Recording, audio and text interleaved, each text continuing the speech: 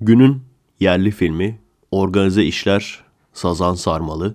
Bu film hakkında ne düşünüyorsunuz arkadaşlar? Beğendiniz mi ve 10 üzerinden kaç puan verirsiniz? Bilmeyenler için konuyu anlatayım. Yılmaz Erdoğan ve çetesi her zamanki gibi dolandırıcı. Yani filmde gerçek hayatta değil de. Bir de başka bir dolandırıcı çetesi var. Diyorum ya adam Hollywood'u takip ediyor. Bir filmin ikincisini çektiğin zaman ne olur? Aynısının kötüsü olması lazım. Ben Kıvanç Tatlıtuğ sanmıştım. Filmin kötü dolandırıcısı ama Kıvanç Tatlıtuğ aslında filmin en iyisi. Yani iyi karakter olarak en iyisi. Diğerleri kötü. Yılmaz Erdoğan küçük kötü. Bir de bunları tokatlayan bir tık daha büyük kötü var. Her neyse Yılmaz Erdoğan'ın kızı evlenmeden önce damadı tokatlıyorlar. Adınız terör örgütüne karıştı diye. O esnada da Yılmaz Erdoğan başkalarını tokatlıyor. Bu aslında faydalı bir film bana soracak olursanız. Çünkü gerçek hayatta uygulanan dolandırıcılıkları resmetmişler. Hani SMS atıp duruyorlar millet hala kanıyor bunlara. En azından belki filmde görürse bunların dolandırıcılık olduğunu anlarlar şeklinde. O işte Bulgaristan'daki sevgili muhabbeti. Bir de bu sazan sarmalı dedikleri olay var. Ben bunu bilmiyordum mesela. Yılmaz Erdoğan'ın yaptığı olay. Mal satıyoruz diye IBAN numarası giriyorlar ama IBAN numarası kuyumcunun oluyor. Böylece adamların kendi banka hesapları olmuyor. Çünkü kendi banka hesabı olsa hemen el koyarsın. Kendi banka hesabı olmuyor. Kuyumcunun IBAN'ını giriyorsun. Kuyumcuya para aktarılıyor. Tam o sırada da Yılmaz Erdoğan bir adamı o kuyumcudan parayı aktararak altın alıyor. Kıvanç Tatlıtuğ ise proto mafya gibi bir şey. Tam mafya da değil. Kumar oynatıyor. Bahis falan yaptırtıyor. Ancak bazıları tabii bahiste ya da kumarda hile yapınca bunlara sinirleniyor. Peşlerine falan düşüyor. Yılmaz Erdoğan biliyorsunuz birçok konuda Yılmaz Erdoğan ve Cem Yılmaz aslında birçok konuda Türkiye'nin Abdurrahman Çelebi'si. Mesela bu filmde biz film hazırladık diye çıktılar. Filmi açtık seyrettik gerçekten de film çıktı. Bu büyük bir şey tabii. Yani film izleyeceğiz diye filmi başlatıyorsun ve film gerçekten film çıkıyor. Türkiye piyasasına göre çok büyük bir olay bu. Ne demek istediğimi anladınız sanırım. Yılmaz Erdoğan aslında hep iyi karakter gibi gösteriyor ama araç falan çalıyor herifler yani. Lüks araç falan çalıyorlar. Düşünsene uğraşıp dinleyip araba almışsın çal, çalıyorlar yani. Böyle karakterlerin iyi insan olarak gösterilmesi beni aşırı sinirlendiriyor.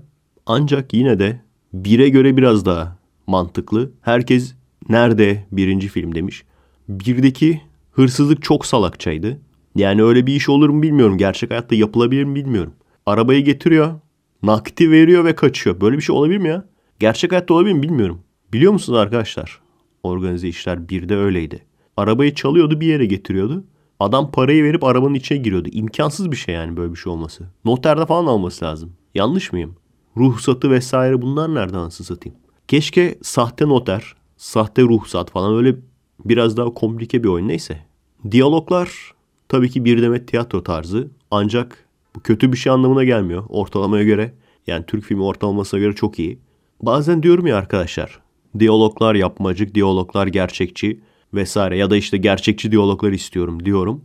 Aslında sanırım yeterince açık konuşamadım onu söylerken. Çünkü gerçek anlamda gerçekçi diyalog olsa bu sefer de aşırı sıkar. Çünkü gerçekte insanlar birbiriyle konuşurken çok fazla boş yapar. En iyi diyalog çeşidi aslında gerçekte gerçekçi olmayan ama sen dinlediğin zaman gerçekçi olduğunu düşündüğün. Yani en optimal hızda, en optimal mantıklı cevapları, en zekice cevapları vererek başka bir deyişle iki kişinin gerçek hayatta konuşması ama ikisinin de limitless hapı atmış gibi falan. Kısacası o dengeyi Yılmaz Erdoğan yakalıyor genelde. Bu filmde de yakalamış. Damat aşırı itici başlıyor. Sonradan biraz düzeliyor. Nil şarkısı evet var ama birincisi gibi kesinlikle değil. Sanırım podcastlerimizi dinlemiş. Akılda kalıcı bir şarkı değil yani. Hatta unuttum bile. Nasıldı? Bir tane biz yazalım arkadaşlar. Sazan sarmalı bunlar. Başımıza sarmalı bunlar. Neyse tamam. Sonra yaparız. Herkes Kıvanç Tatlıtuğ'un oyunculuğu muhteşemdi, çok iyiydi falan demiş.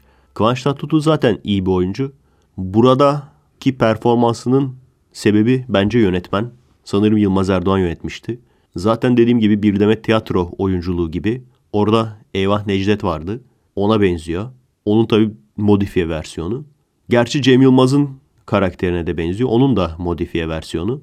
Yalnız dikkat ettiğiniz bir gülmesi çok yapmacık ve iticiydi.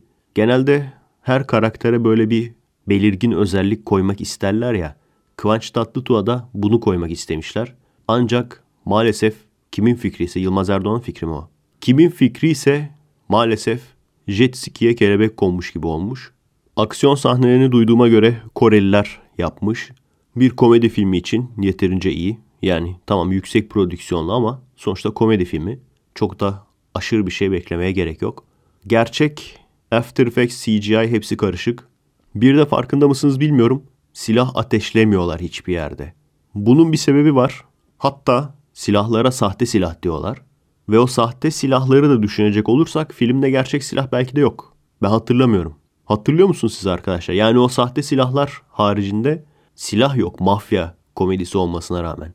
Bunun sebebi şu. 7 artı mı oluyor? 12 artı mı oluyor? Silah olduğu zaman veya silah ateşlendiği zaman. Ondan kaçmak istemişler. Ama benim anlamadığım olay şu. Küfür var. Yani sağlam birkaç tane küfür var. Gerçekten bu rating sistemini ben anlamıyorum. Yabancılarda mesela şey vardır ya. Bir kere fuck diyebilirsin mesela veya bir kere küfür edebilirsin. Büyük ihtimalle bu filmde de öyle. Çünkü iki kere falan küfür ediyorlar ondan sonra etmiyorlar. Demek ki Türkiye'deki rating sisteminde de öyle.